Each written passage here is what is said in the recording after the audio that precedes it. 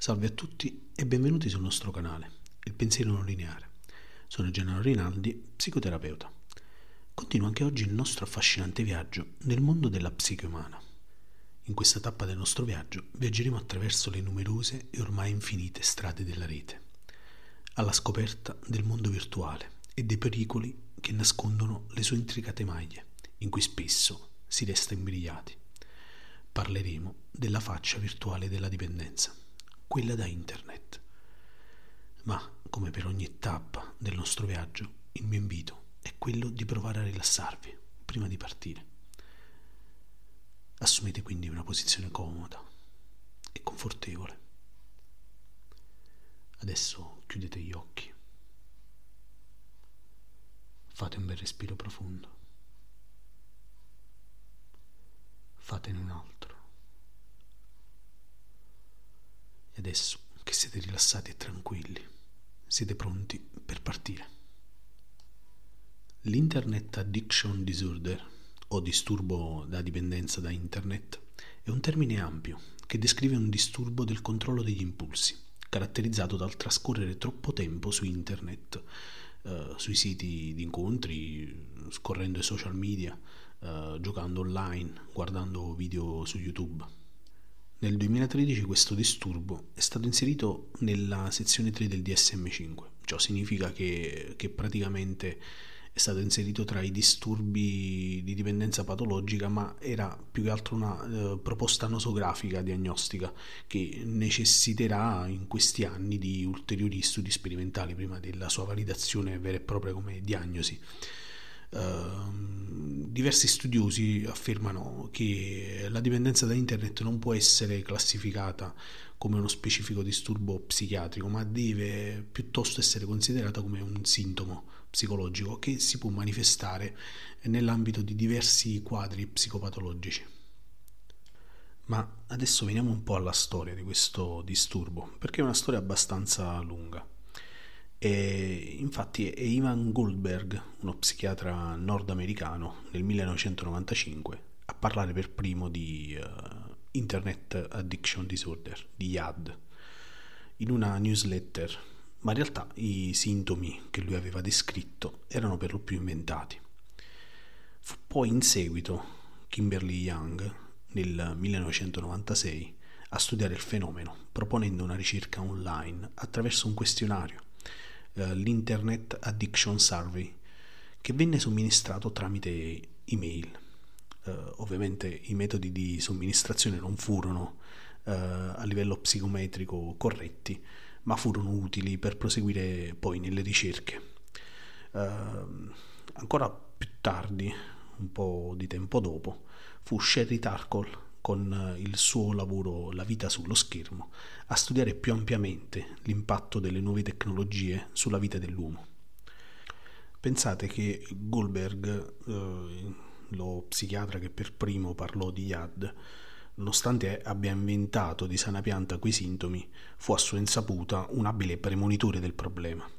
Parlò ad esempio di movimenti involontari, il typing con le dita, Adesso sappiamo che questo tipo di sintomo può presentarsi anche in chi soffre di internet addiction. Come le altre dipendenze, anche la YAD interferisce con la vita sociale, la vita coniugale, con il lavoro, generando anche problemi economici. Se si è disconnessi si crea uno stato di malessere e di disagio, di astinenza in chi lo vive, un'impossibilità di scollegarsi anche quando lo si desidera la percezione del tempo, quando si è connessi, è distorta. La possibilità di connettersi diventa un pensiero fisso. La regolazione delle proprie emozioni è legata all'utilizzo della rete. Spesso si svaluta la propria vita reale a favore di quella virtuale, con la sensazione che le relazioni online siano più soddisfacenti. Si ha inoltre una tendenza ad alterare la propria identità, e la tendenza a controllare a intervalli regolari la propria posta elettronica, la propria bacheca sui social, eh, i video preferiti, eh, eh, provando un senso di eh, spiacevolezza se non vi sono novità, se non vi sono news. Che, che possono arrivare o, o like che, che magari ci aspettiamo da qualche persona. I soggetti più a rischio sono quelli compresi nella fascia d'età eh, tra i 14 e i 50 anni, che hanno difficoltà comunicative, che potrebbero legarsi a problemi psicologici, psichiatrici, relazionali e familiari. Altri fattori di rischio possono riscontrarsi nell'elevato grado di informatizzazione e di isolamento di ambienti lavorativi e nell'isolamento anche geografico.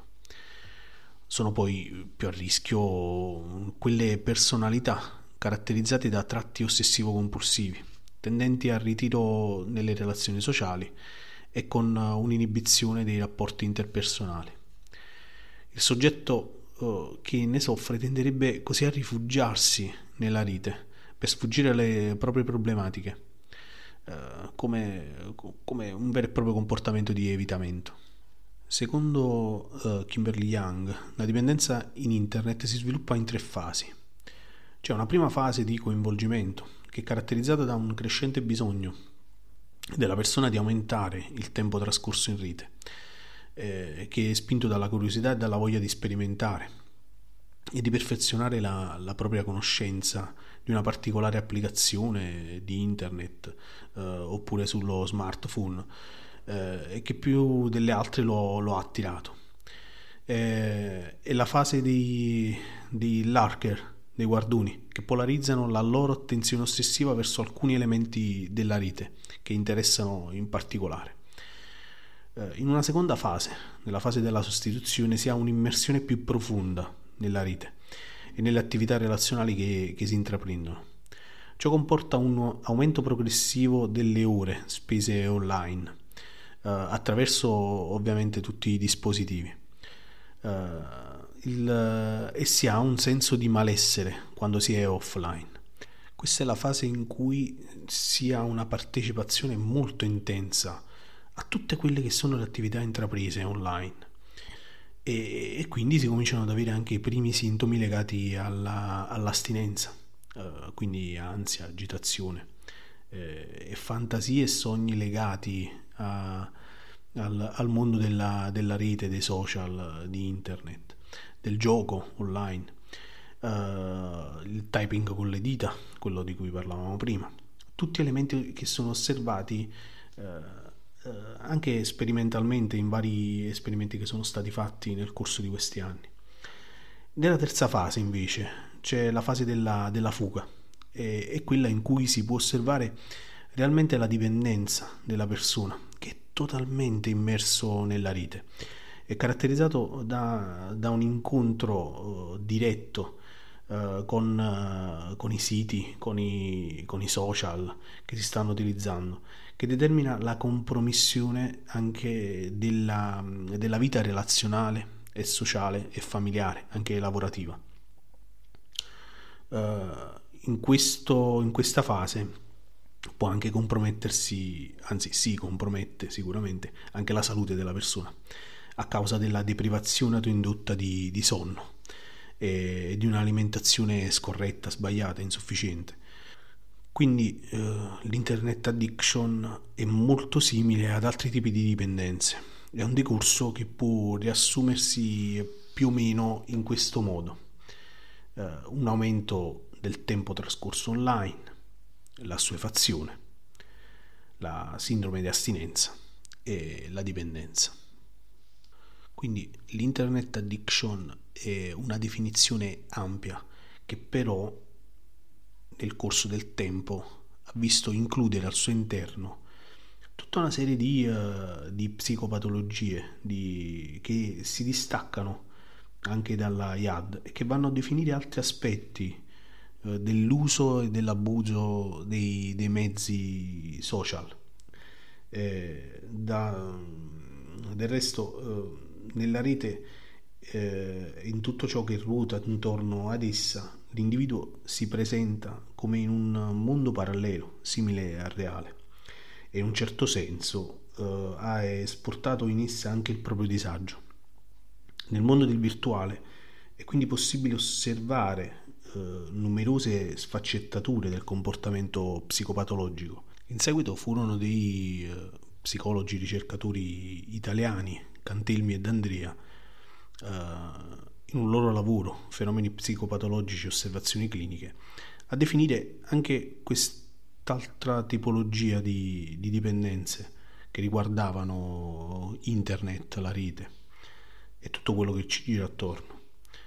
Eh, loro, nel loro lavoro evidenziarono alcuni altri tipi di psicopatologie, come ad esempio il gioco d'azzardo online, la dipendenza dal cybersesso, la dipendenza dalle, uh, dalle relazioni online, uh, la, la, dipendenza dai, dal gioco, dai, dai giochi online uh, e la dipendenza dalla, dalle eccessive informazioni, lo shopping online compulsivo, la dipendenza dai social network, insomma, eh, hanno, hanno, poi definito tutta una serie di, di, di dipendenze, di disturbi che, che tuttora si stanno, si stanno, prendendo in considerazione. Uh, la, il, sempre la Young poi ha individuato nel suo Center for Online Addiction tre fattori predisponenti e facilitanti per l'insorgere di disturbi che, che, ho accennato anche prima e che hanno, che hanno trattato anche Cantelmi ed Andrea. Eh, l'accessibilità, per esempio, che con l'avvento di internet i tempi e le modalità di accesso a determinati servizi, come anche per esempio lo shopping, eh, oppure anche al gioco d'azzardo, alle relazioni sessuali, alla, alla pornografia, eh, si sono facilitati moltissimo Ciò ha reso possibile una gratificazione immediata uh, per le persone, per chi ne usufruisce. Uh, inoltre c'è un, dice la Young, c'è un controllo totale e onnipotente di tutte le attività che si possono svolgere online con il computer eh, oppure con gli smartphone di ultima generazione. Uh, e c'è anche un'eccitazione per tutte le possibilità che dà uh, questo tipo di na- navigazione, questo tipo di fruibilità veloce, eh, senza limiti. Uh, senza dubbio la presenza di stimoli visivi e uditivi accattivanti e sorprendenti insieme alla possibilità dell'anonimato e della totale libertà rendono anche la, questa esperienza, la navigazione, molto più interessante di, di quello che poi una persona può vivere ed incontrare nella vita reale. Bene, anche per oggi la nostra tappa finisce qui. Non mi resta che salutarvi ed invitarvi alla prossima tappa. E ricordate, finisce bene quel che comincia male. Grazie per l'ascolto. Alla prossima.